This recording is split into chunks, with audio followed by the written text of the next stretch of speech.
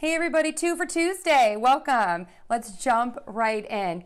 Our words today are course, um, which is a route um, or a flow of class, and coarse, meaning rough. Um, we can also use the word coarse to describe a personality being not that fun um, and a little miserable.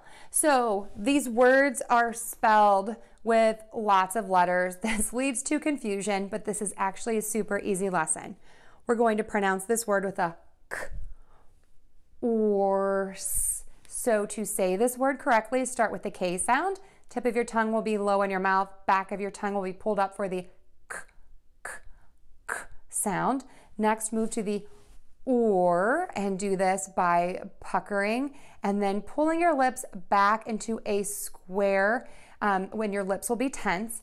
And this will um, help you use the correct er sound to finish that vowel. For the er, you know the drill, tip of your tongue can be down or rolled back. Just do not touch your teeth. Or, or, or, and then end with an S. And to do this, your tip of your tongue is going to be behind your top front teeth. Could also be pointing down, it's just not touching the teeth. And you're going to allow the air to move out of your mouth. Let's give it a try. Course, course, course. The course professor made the coarse unenjoyable.